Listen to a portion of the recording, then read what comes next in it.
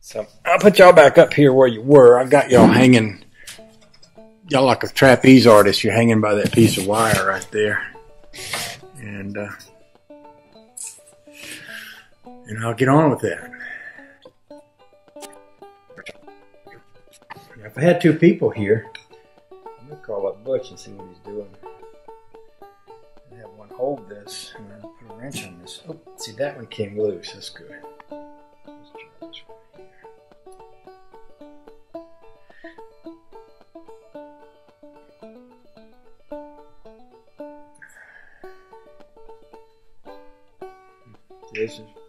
Spots where I need advice.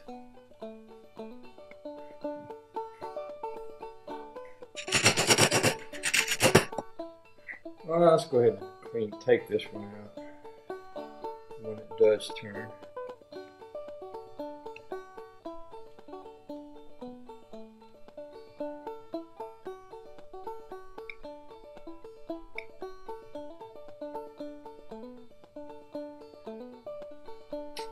See, this has a hole through it, and I can see the hole. You probably can. But there is a hole through the center of that. actually smaller than this drill bit. But that hole must be open because gas needs to pass through that. Sometimes I can find a little piece of wire and push it through that hole.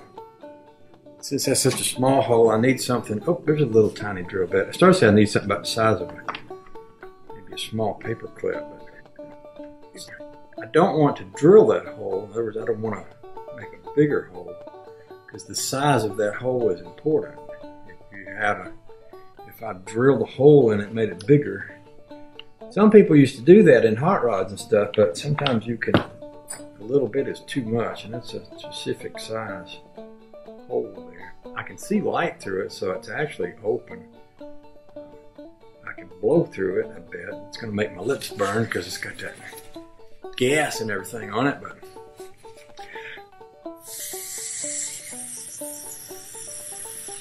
I know it's open. So I'm just going to sit that down in there. Sometimes there'll be a little ball in these things. Uh, with your, what I'm going to do here is I'm going to squirt some some of this carburetor cleaner right in the gas line and it should come out right there. See that?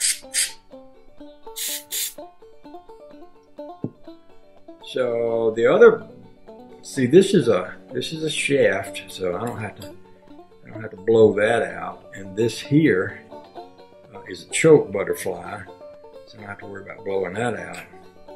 The other thing that I have to clean out though is there's a long I call that other thing a needle valve, but there's a long needle valve, and it look really looks like a needle, and it's in here.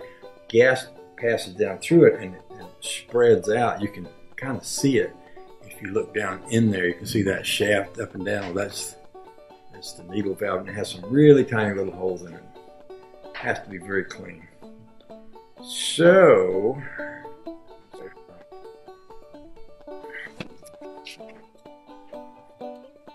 Did the trick. I like these screwdrivers. It has this end on there. You can do that sort of thing. That'll give you a little more pressure than you can get with your hands. There. Now we take this out. Know, this thing here is down in the bottom of the bowl, so vacuum sucks gas up through this. Now, this also has a hole in it, which should be clean. In this case, it's closed. It's not clean.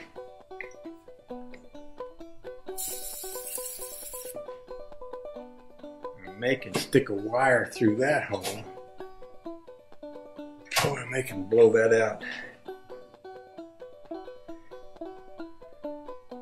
Let's see, might have some side holes too. It may not be a hole. I might be wrong about that. It's gonna have a little bitty threaded screwdriver hole down inside there that takes it out. So I'm gonna need a little bitty skinny screwdriver. It'll go down in that hole. Smaller than that. That is about the right size.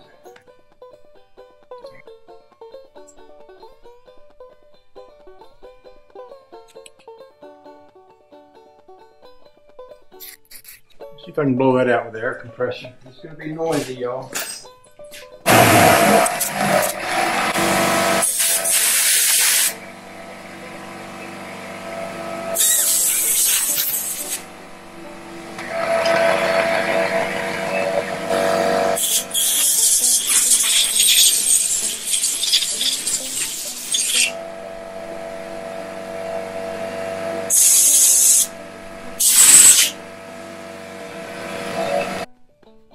Well, I was able to get that piece that was here open uh, with some air and with some of this, and I put it down there in there soak. And I've got a little screwdriver that's it's almost too little that that I'm trying to turn in there. I need to find a screwdriver that's somewhere between that and that. So let me keep looking. I might have to grind one. I'd rather not. Sometimes it's all about finding the right screwdriver.